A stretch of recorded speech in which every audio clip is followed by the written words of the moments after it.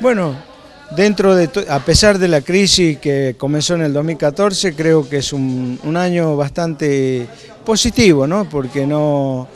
digamos, de alguna manera nosotros lo que lo, lo, calificamos como positivo, que a pesar de la crisis nosotros no hemos perdido trabajadores en esta crisis y que los trabajadores siguen estando con su fuente de trabajo.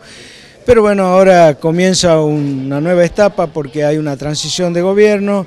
y esto eh, pone de alguna manera este, en alerta, digamos, por la fuente de trabajo sobre todo, y bueno, este momento de crisis por la, por la salida del, CEPO, por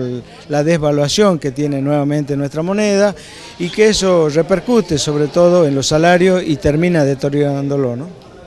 ¿Cuáles son las perspectivas para este 2016? Me comentaba recién lo de la transición, el cambio de gobierno, pero ¿cómo se vislumbra el panorama y los beneficios para los trabajadores del sector? Bueno, nosotros hoy, este, digamos, estamos en una situación bastante, bastante complicadita por la, por la misma situación este,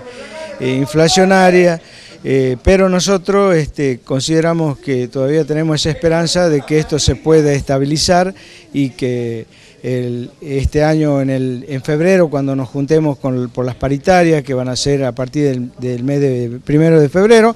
este, podamos equiparar los salarios, ¿no? porque hoy este, deteriora muchísimo eh, el poder adquisitivo de nuestros compañeros. Cerramos con el mensaje para el afiliado que está viendo el noticiero de TV. Bueno, hoy este, en especial, porque hoy es un día eh, de los, todos los empleados de la administración pública, saludarlos a todos y en especial a nuestros afiliados,